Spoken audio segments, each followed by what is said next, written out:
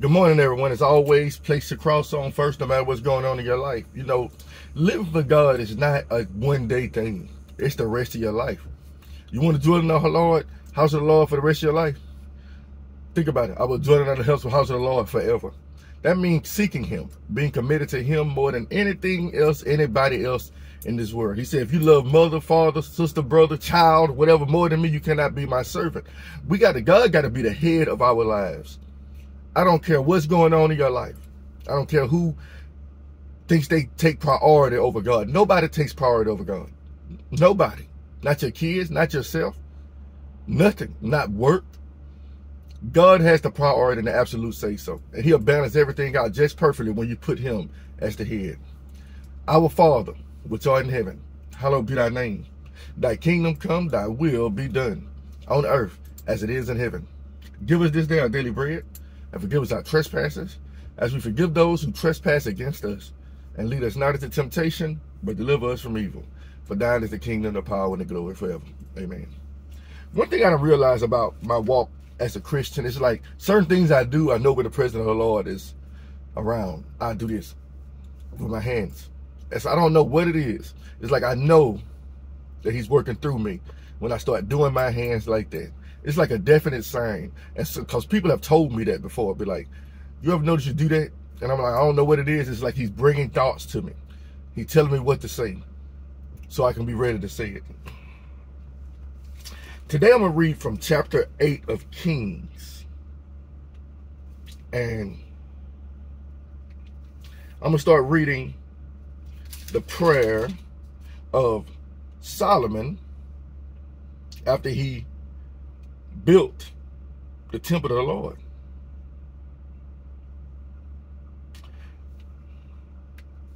Let's go to this with uh First Kings chapter 8, starting with verse 22. And Solomon stood before the altar of the Lord in the presence of all the congregation of Israel and spread forth his hands to heaven. And he said, Lord God of Israel, there is no God like thee, in heaven above or on earth beneath, who keepeth his covenant and mercy with thy servants that walk before thee with all their heart. I told you the Bible, the God, God is after your heart. You know how you always have your, like when, when growing up, you had a first love and ain't nothing really like the first person you was in love with is a different type of love. You know, it's like that. My mom used to call it puppy love, but it's something that stuck with you, something you remember. But God is our first love. He loved us first before we loved him. So if it's if it's your first love, you got to stay in it. You got to keep your heart with God, who has kept with thy servant David, my father, that thou promised him. Thou spakest also with thy mouth and has fulfilled it with thine hand as it is this day. Therefore now, Lord God is Israel, keep with thy servant David my father that thou promised him, saying, There shall not fall thee, fail thee a man in my sight to sit in the throne of Israel, so that the children take heed to their way, that they walk before me as thou hast walked before me. And now, O God of Israel, let thy word, I pray thee, be verified, which thou spakest to thy servant, my father.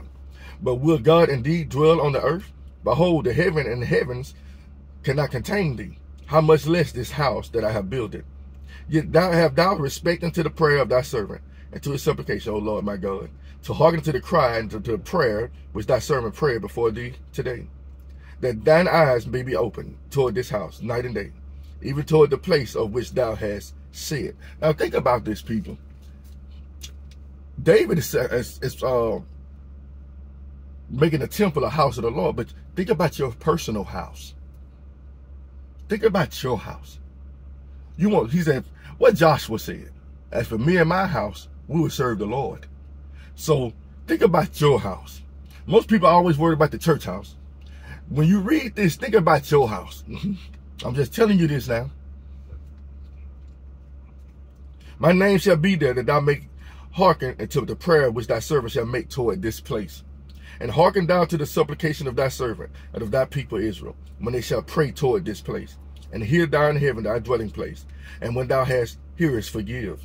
If any man trespass against his neighbor, and an oath be laid upon him to cause him to swear, and the oath come before thine altar in his, this house, then hear thou in heaven, and do and judge thy servants, condemning the wicked to bring his way upon his head, and justifying the righteous to give him according to his righteousness. When thy people Israel be smitten down before. Look, man, people always say the Old Testament Bible, God was not forgiving. You got to think about it. God's having the same yesterday, today, and today. The same forgiveness that in the New Testament is in the Old too. When our people Israel be smitten down before thy enemy because they have sinned against thee, and shall turn again to thee, and confess thy name, and pray, and make supplication unto thee in this house, then hear thou in heaven, and forgive the sin of thy people Israel, and bring them again into the land which thou gavest unto their fathers. When heavens is shut up, and there is no rain, because they have sinned against thee, if they pray toward this place, and confess thy name, and turn from their sin, when thou afflictest them, then hear thou in heaven, and forgive the sin of thy servants, and of thy people Israel, that thou teach them the good way, wherein they should walk. You see that every time you fall, you keep calling on the Lord. That's one thing you will see is a pattern here. He said, none is not, no, nobody has lived a sin-free life. You're going to hear that in a second too. If give rain upon thy land, which thou hast given to thy people of it for an inheritance. If there be in the land famine, if there be pestilence, blasting, mildew, locusts, or if there be a caterpillar, if their enemy besiege them in the land of their cities. Whatsoever plague, whatsoever sickness there be, what prayer and supplication ever be made by any man, or by all the people of Israel, which shall know every man the plague of his own heart, and spread forth his hands toward this house, then hear thou in heaven thy dwelling place, and forgive and do. Now think about it. We got direct contact to Jesus now. You ain't got to pray towards Solomon's temple. You pray straight towards the source. When Jesus Christ gave his life on the cross, he gave us direct contact to the Heavenly Father. You ain't got to go to a priest. You ain't got to go to a priest. We got a high priest that's sitting next to the right hand of God. That's written in the word too. Then hear thou in heaven thy dwelling place and forgive and do and give to every man according to his ways, whose heart thou knowest. For thou even thou, thou only knowest the hearts of all the children of men, that they may fear thee all the days that they live in the land which thou gavest unto our fathers. You're going to see a lot of repetition. Fear thee. The fear of the Lord is the beginning of wisdom. The fear of the Lord is the beginning of understanding. Moreover, concerning a stranger. Now think about, he's going to talk about the Gentiles right here in the Old Testament. For all you people that act like God is just for the children of Israel. Moreover, concerning a stranger that is not of thy people Israel, but come out for a far country for thy name's sake. For they say, hear of thy great name and of thy strong hand, of thy stretched out arm, when he shall come and pray toward this house. Hear thou in the heaven thy dwelling place, and do according to all that the stranger calleth to thee for, that all the people of the earth may know that thy, thy name to fear thee, as do thy people Israel, and that they may know that this house which I have builded is called by thy name. And to think about thinking, I think in regards to your house now, because he said every house is built on something. So you're trying to build your house on the rock. You know, a lot of people are like, well, this is my house. I'm gonna go to church to, to, to, to hear from God. But that's not enough. Don't you think your dwelling place where you sleep should be covered in the blood of God? What's the use of going to the house of the Lord one day a week? Then your house is like the devil's house. It just don't make sense. If thy people go out to battle against their enemy, whatsoever thou shalt send them, and shall pray unto the Lord toward the city which thou hast chosen, and toward the, the house that I have built for thy name, then hear thou in heaven their prayer and their supplication, and maintain their cause. If they sin against thee, but there's no man that sinneth not. Hmm. All you self-righteous people, and thou be angry with them and deliver them to the enemy, so that they can carry them away captive to the land of their enemy for far or near. Yet if they shall think, rethink themselves in the land, whether they will carry captive, and repent, and make supplication unto thee in the land of them that carried them captive, saying, We have sinned and have done perversely. We have committed wickedness, and so return to thee with all their heart, with all their soul, in the land of their enemies, which led them away captive, and pray to thee, Lord, thee toward their land, which thou gavest to their fathers, the city which thou hast chosen, and the house which I have built for thy name. Then hear thou their prayer and their supplication in heaven, thy dwelling place, and maintain their cause. And forgive thy people that have sinned against thee, and all their transgressions wherein they have transgressed against thee. And give them compassion before them who carried them captive, that they may have compassion on them. Sit down at my right hand till I make your enemies your footstool. Do, do you hear that in here? For they be thy people, and thine inheritance which thou broughtest forth out of Egypt, from the midst of the furnace of iron, that thine eyes may be opened to the supplication of thy servant, and to the supplication of thy people Israel, to hearken unto them, and all that they call for unto thee. For thou didst separate them from among all the people of the earth, to be thine inheritance. Think about it. God's still doing that now. He still separate his people. The great divider. As thou spakest by the land of Moses, hand of Moses, thy servant, when thou broughtest our father out of Egypt, O Lord God. And it was so that when Solomon had made an end of praying all this prayer and supplication unto the Lord, he rose from the, before the altar of the Lord from kneeling on his knees, and his hands spread up to heaven. And he stood and blessed all the congregation Israel with a loud voice, saying, Blessed be the Lord that hath given rest unto his people Israel, according to all that he promised. There have not failed one word of all his promise, his good promise, which he promised by the hand of Moses servant. The Lord our God be with us, as he was with our fathers. Let him not leave us, nor forsake us that he may incline our hearts unto him to walk in all his ways and to keep his commandments and his statutes and his judgments which he commanded our fathers. And let these my words, where have I have made supplication before the Lord, be nigh to the Lord our God day and night, that he maintain the cause of his servant and the cause of his people Israel at all times, as the matter shall require, that all the people of the earth may know that the Lord is God, and that there is none else. Let your heart therefore be perfected, perfect with the Lord our God. Then what he says, let your heart be perfect with the Lord our God. Perfect. How you can perfect your heart? Get your heart perfect with the Lord thy God to walk in his statutes and to keep his commandments as at this day. All right. Then King, then Solomon made some sacrifices. And let's see what happens right next. Chapter 9, chapter 2 after he had made this big prayer. And we do it. We do the same thing. And God always tells us, okay, you said this, now it's time for me to speak. The Lord appeared to Solomon, chapter 9, verse 2. The Lord appeared to Solomon on the second time, and as he had appeared unto him in Gibeon. And the Lord said unto him, I have heard thy prayer and thy supplication that thou hast made before me. I have hallowed this house which thou hast built to my name there forever, and my eyes and my heart shall be there perpetually. And if thou wilt walk before me, as David thy father walked, integrity of heart, and in uprightness to do according to all that I have commanded thee, and will keep my statutes and my judgment, then I will establish the throne of the kingdom up upon Israel forever, as I promised to David thy father, saying, There shall no fail thee a man upon the throne of Israel. But if you shall at all turn from following me, you are your children, and will not keep my commandments and my statutes which I have set before you, but go and serve other gods and worship them, then will I cut off Israel out of the hand land, land which I have given them. And this house which I have hallowed for my name will I cast out of my sight. And Israel shall be a proverb and a byword among all the people. And at this house which is high, everyone that passes by shall be astonished and shall hiss. And they shall say, Why hath the Lord done thus unto this land and to this house? And they shall answer, Because they forsook the Lord their God. Now think about your house now. Think about your house who brought forth their fathers out of the land of Egypt, and have taken up hold upon other gods, and have worshipped them and served them. Therefore have the Lord brought upon them all this evil.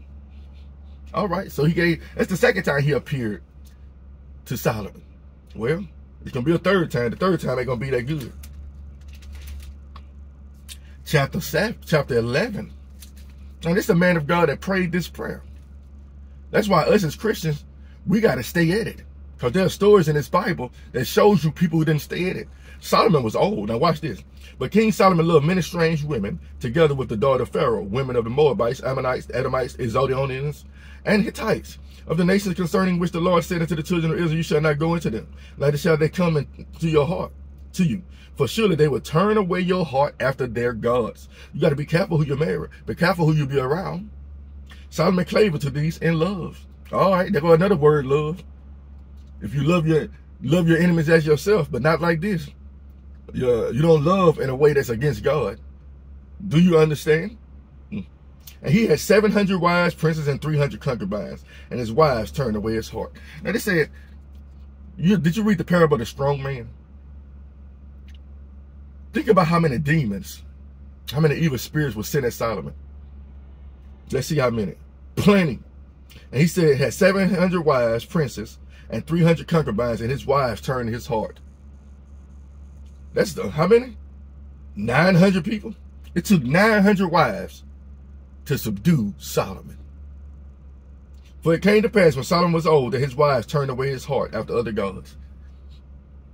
Yeah, they were people. But they were demons too. And his heart was not perfect with the Lord, his God, as was the heart of David, his father. For Solomon went after Ashtaroth, the goddess of the Zidonians, and after Milcom, the abomination of Ammonites. And Solomon did evil in the sight of the Lord, and went not fully after the Lord, as did David his father. Then did Solomon build an high place for Chemosh, the abomination of Moab, in the hill there is before Jerusalem, and Molech, and abominations of the children of Ammon. And likewise did he for all his wives. Lord have mercy. The same man that made the longest prayer in the world tell everybody else a certain way to live. Forgot what he read, but forgot what he said. And the Lord was angry with Solomon because his heart was turned from the Lord God of Israel, which had appeared unto him twice, and had commanded him concerning this thing that he should not go after other gods, but he kept not that which the Lord commanded. Wherefore the Lord said unto Solomon, For as much as this is done unto thee, and thou hast not kept my covenant and my statutes which I have commanded thee, I will surely rend the kingdom from thee, and will give it to thy servant. Notwithstanding in the days I will not do it for thy father's David's sake, because God is not a liar, but I will rend it out of the hand of thy son. How about I would not rend it away all the kingdom, but would give one tribe to thy son of David, for David, my servant's sake, and for Jerusalem's sake, which I have chosen. And the Lord stirred up an adversary to Solomon. Bam. We got to be careful. We have to be careful out here.